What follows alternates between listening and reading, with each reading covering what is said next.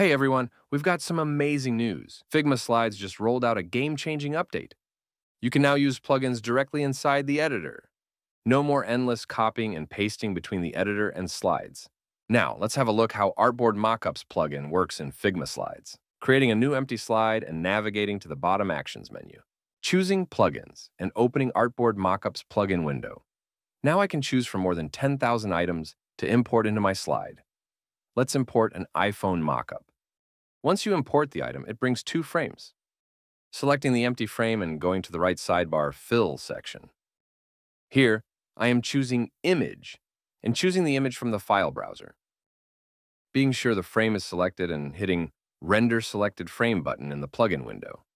And my design immediately rendered on the phone screen. Now you can position this frame as you like. In order to resize, be sure you are activating the scale mode in order to keep the ratio. Okay, now you understand the point. It's very simple and straightforward. Let's create another slide and see how it helps for branding design presentations. This time, I'm using a t-shirt mock-up to showcase my apparel design. Importing the mock-up item with assigned frames, though for some reason, Figma slides place them in a strange spot. But no problem, moving the main mock-up image to the slide and scaling down the empty frames moving any place out of the canvas. You can also resize the frames as you like, but do not change the ratio, always use scale mode. For some items, we have overlay color frames designed to apply a color to the entire surface.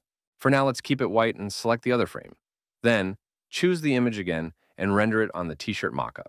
Additionally, you can use the gradient option or simply copy and paste an image from Figma or your computer. Since we are making a branding design presentation for Config, let's create a new slide and now import a lanyard mockup. Once again, we're far from the canvas. This time we have multiple surfaces to render. First, I'm moving the main mockup image to the canvas. Since we're zoomed out, I'll bring in all the empty frames and scale them down. I also want to change the background color to create more contrast. Okay, now there are several empty frames and we have no idea which one renders which part. It is so easy to solve this problem. Trying to import my image one by one to all empty frames and find out which frame renders which part. Do you really agree this is easy? Of course no. Just kidding.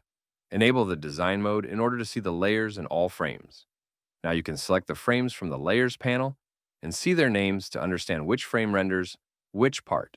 If you're a brand designer showcasing guidelines to a client, the Artboard Mockups plugin is the best tool for creating mockups in Figma slides.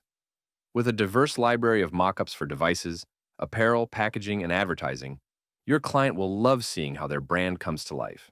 Now, go to the Artboard Mockups plugin page in the Figma community and click the Open In button to select any Figma Slides project you have. The link is in the description.